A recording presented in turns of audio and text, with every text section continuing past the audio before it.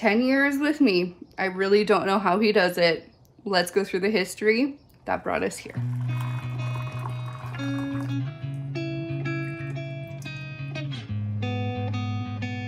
Welcome or welcome back to Slow Roll. My name is Stephanie. Videos every Wednesday on chronic illness, day-to-day -day management, and product reviews. If that's something that interests you, please subscribe down below and follow along on our journey. This is a special video to share with you Luke and I's love story and celebrate my wonderful husband as we hit our 10 years together this week Luke, I know you hate being in the spotlight, but you deserve some crazy amounts of recognition for everything you do for me every day. Now let's try and condense the story into 10 minutes or less. Let's see how I do. Follow me as I get ready, well, part one of me getting ready because it's gonna take me two days uh, as we get ready to celebrate our anniversary tomorrow and I share with you our lovely journey. Well, our story starts a little interestingly. Most people would probably say that I was a little nuts. We met on a dating app uh, back in 2012 and uh, after chatting on the app for some time, some time, okay, let's be real, a few hours, uh, we decided we wanted to meet. And so Luke was chatting and was saying, oh, you know, well, we can, you know, meet up tomorrow or whatever. And I'm like, why not now? Right? It's two in the morning at this point. And I'm like, there's a park near my house. Because, of course, let's not meet at my house because that would be, you know, way too much. So Luke meets me at the park. I later find out that he tells his friends that he's taking $20 with him and his license, and that's it. And his comment was, well, worst case, I'll finish with a good story. Well, he got a great story. He got a wife. well, a few years later, anyways. To this day, we still reminisce as to whether or not we really started dating on the Saturday or the Friday but we do agree that we both knew what we wanted in a partner. So we wasted no time when we realized that this was going to be something real. I met his parents on our third date because that's how that works, right? And within three weeks, I had moved in with Luke. If you have not figured it out yet, I'm a lemur. I jump and jump and branch from branch. I just simply don't know how to stop. And especially back then, I definitely did not know how to slow down. And so that was definitely something that went really quickly. Still don't regret it to this day. There's just so many lovely memories from that time when we first started dating. Our first few years were simply filled with some crazy adventures. We went on this lovely camping trip within the first few months of us dating and we traveled New York, went to Montreal. I brought Luke to Quebec City. He'd never been before. And we just simply lived our best, craziest 20s life. And of course, we acquired a cat or two in the process. Life was just kind of easygoing and that's the way we loved it. It was uh, a great few years and we have such beautiful memories from those trips. And we can't wait to get back on the road in the coming years and uh, you know relive some of those lovely memories. Toothbrush time. Now my electric toothbrush power is done so we're just gonna go manual today so fast forward to 2016 and some very hectic years to come. Not only would we get engaged in the summer of 2016, we would also a few weeks later buy our first house that was going to be built over the next nine months. And I also became hospitalized after becoming paralyzed from the neck down in late 2016. Luke would not only spend two weeks running around between getting to the hospital, working full time, managing the house build, keeping up with our current house, and managing our now three pets, life was just a little crazy. 2017 brings a new year, a new home, a wonderful move out of our rental and into our first home of our own. A bunch of new possibilities. I was back on my feet for the most part, and Luke just couldn't wait to get landscaping started in the back of the new house. And we were just looking forward to what 2017 was going to bring.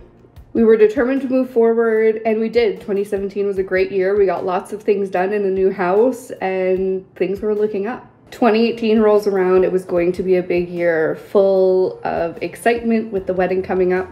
Unfortunately i hit my first major health setback which meant that luke had to take on a lot more of the wedding planning than i think he ever wanted and it was one of those things we just didn't know what to expect I was determined to get on my feet for the wedding, and we even planned a choreographed uh, wedding, our first wedding dance, and Luke decided to say yes, and we got back on our feet and danced our first dance, which was just a dream come true for me.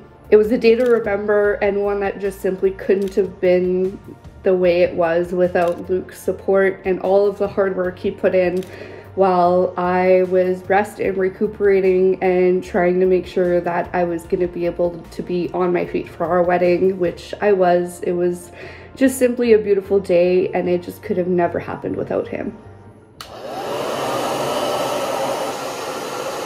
So this is actually day two of me getting ready. Uh, unfortunately, after I blew dry my hair yesterday, I really wasn't feeling well. I got really nauseous and dizzy, and so I had to stop. So here we are, day two, continuing getting ready. So the following years after our wedding, uh, life got a little crazy. Unfortunately, my health started to continue to decline and Luke really had to pull up the bootstraps and, you know, do more than his fair share of everything um, from household chores to caring for me.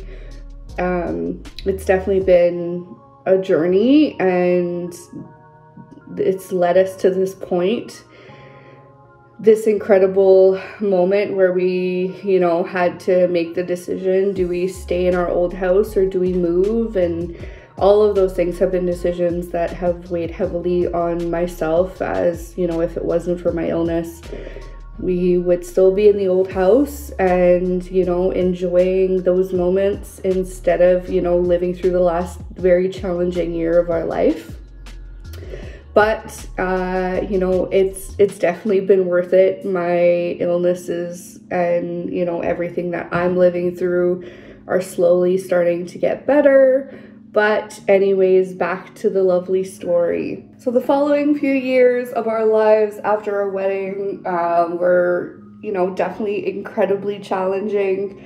We spent a lot of those years, uh, you know, stuck in our bedroom due to my health getting worse and things just not quite going the way we had hoped when it came to my illnesses and uh, diagnoses and things like that. It hasn't been until this past, I would say 18 months or so that we've really started to get the answers we were hoping to get, you know, multiple years ago. So here we are and I'm definitely stronger for it. Thanks to Luke, the incredible accomplishments and everything we've accomplished in the last 12 months uh, could have never happened without going through the last few years and and you know, living the struggle of chronic illness and the unknown and just not knowing what would be next for our future.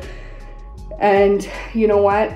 You know, as much as it was challenging and, you know, a lot of those days we'd never want to redo, it's one of those things, it brought us closer together. And, you know, I, I thank him every day for being there for me and keeping me strong and keeping me smiling even if it's a bad day and just being the amazing husband he is and you know not only just on anniversaries as much as i am really looking forward to going out today it's one of those things that he's he's there for me every day no matter what's going on and the journey we've been on has definitely not been the one we thought we uh, we're gonna be on, but here we are.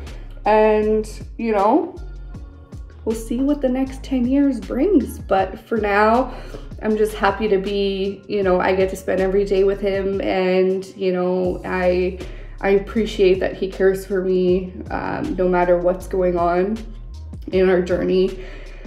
And, you know, you guys have been there for part of our journey now that we've been in this new house and, you know, things are looking up from a diagnosis perspective. We're, I think, inching closer to something that might be realistic. And, you know, I just feel like we've made a lot of strides in the last 12 months, as much as it's been a very challenging 12 months with the move and the reno and you know be me you know at the beginning of the year being quite ill and you know thankfully bouncing back to an extent but i could have never done that without luke and making sure that he was on top of my meds and everything that needed to get done. On top of the reno and everything that came with that that you guys have seen us you know live through. So i just want to thank you hun for everything you do for me and yeah that's that's pretty much the journey that brings us to today 10 years together and uh, you know here's to many many more to come I hope you enjoyed this video as much as I did recording it. A special thank you to our editor this week, Adam, who helped me make this a surprise for Luke. So thank you so much, Adam. Till next time, don't forget to slow your roll.